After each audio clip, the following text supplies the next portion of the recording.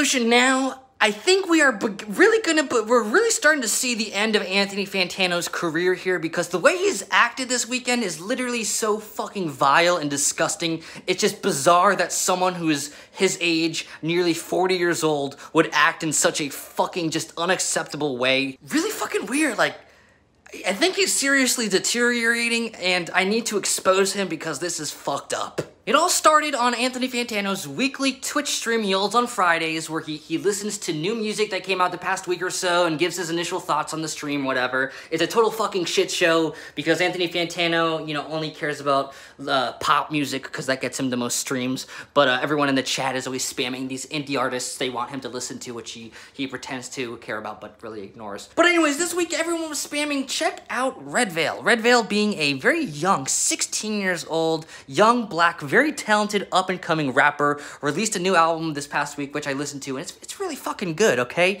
Uh, and everyone was telling Anthony, please check this out. Please give attention to an indie artist for once. Chill with the pop stuff. And Anthony Fantano finally caves. Enough people finally were spamming in the chat till they got to him. And he listens to Redveil for like 15 seconds.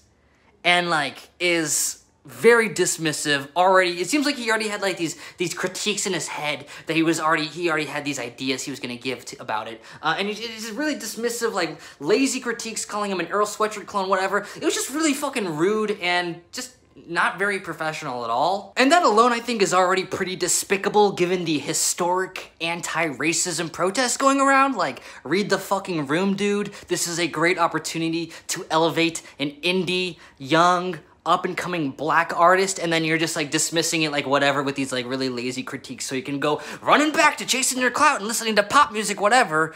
Uh kind of kind of bizarre behavior. But that's that's just the beginning of it.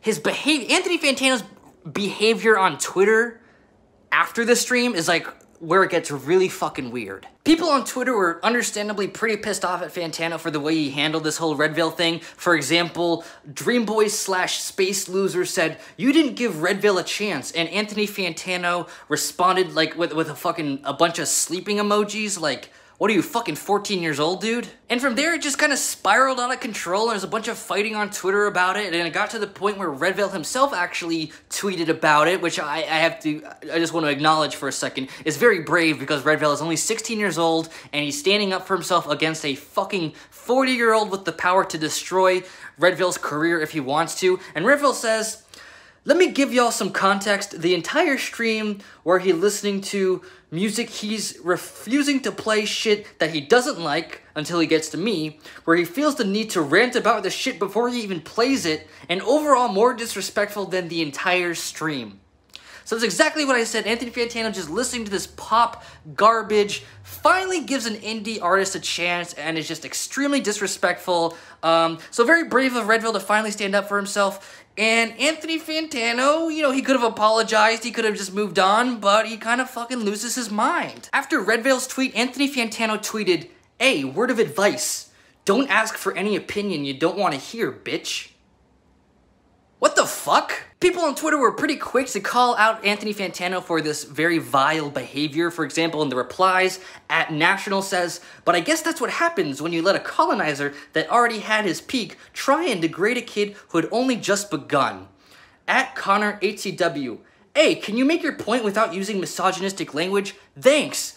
Opinion is fine, dude. Say what you, you know, it's just like, why are you attacking a 16-year-old, dude? You're, what are you fucking doing, man? Again, this was would be a great opportunity for Anthony Fantano to just move on or apologize or anything, okay? But instead, Anthony Fantano has a Twitter meltdown like a fucking child. Redveil is 16 years old. And Redveil is acting way more mature than Anthony Fantano. Anthony Fantano, like, look at this shit. He just he's just spamming. LOL, you're mad at a melon. Angry in a fruits mentions over an opinion. Sad. Are you done yet? Is the tantrum still going? Mom let you stay up this late? Oh, what now? Bye. Unfollow on your way out. And I, I just want to point out, the, these insults, like mom lets you stay up this late, these are insults directed at young people. You know, so I'm, I'm picking up here that he's like actually just like continuing to attack Redveil and attacking him for his age. What?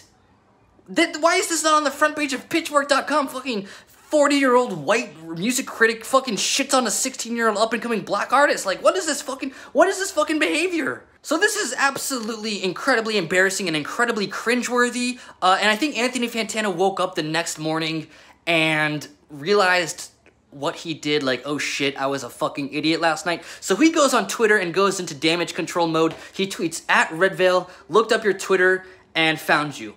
Sorry if you're under the impression anything I said was about or in response to you. I don't believe you were asking me for my opinion and was just frustrated at hip hop Twitter's tendency to relentlessly beg me for takes and then immediately melt down and attack the moment my opinion doesn't validate theirs. This isn't the first time. I wanted them to fuck off, and I'm happy they did, but I went about it in a way that made it easy to think it was about you.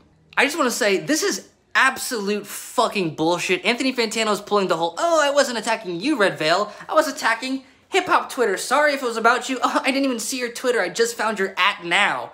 Fucking bullshit, dude. Your rant was directly targeting targeting someone who is young with your, oh, mom let you stay up this late. Like, that isn't a direct attack on Redveil, clearly. I, I think Anthony Fantano is just fucking lying here.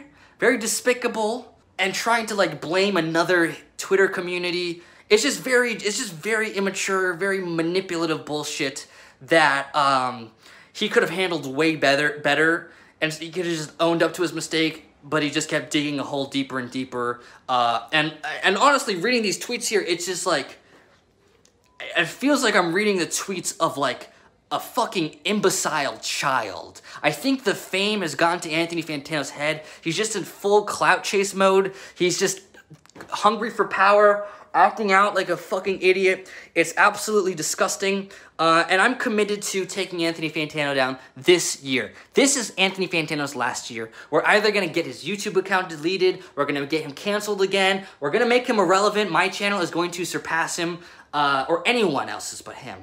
So let's fucking defeat Anthony Fantano once and for all you know, if you could like and comment on my videos, that's really helpful. Or subscribe if you want to, that's helpful for me. Uh, but anyways, just, you know, fuck Anthony Fantano. This is the end of him. Uh, so let's let's just finish him off, guys. Fuck Anthony Fantano. Punk Revolution now. Thanks for watching.